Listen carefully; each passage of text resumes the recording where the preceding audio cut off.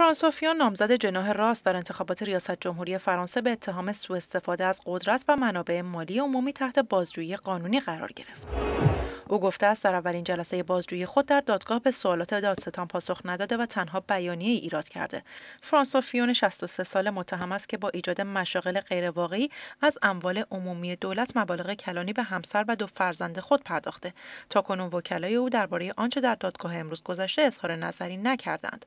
بر اساس قوانین فرانسه زمانی که یک مقام مسئول به صورت قانونی تحت بازجویی قرار گیرد به این معناست که شواهد جدی و محکمی در ارتباط با اتهامات مطرح شده علیه او وجود دارد. نخست وزیر سابق فرانسه پیشتر هر گونه اتهامی را رد کرده بود و گفته بود آنچه علیه او رخ داده یک ترور سیاسی است او همچنین گفته بود تنها یک چیز می‌تواند مانع از ادامه کاندیداتوری او شود و آن هم زمانی است که مورد بازجویی قرار گیرد. اگرچه کمی بدتر فرانسوا فیون با وجود احضار قضایی برای رسیدگی به اتهاماتش در جمع هوادارانش در تروکادرو در پاریس اعلام کرد که از رقابت‌های انتخاباتی کنار نمی‌کشد.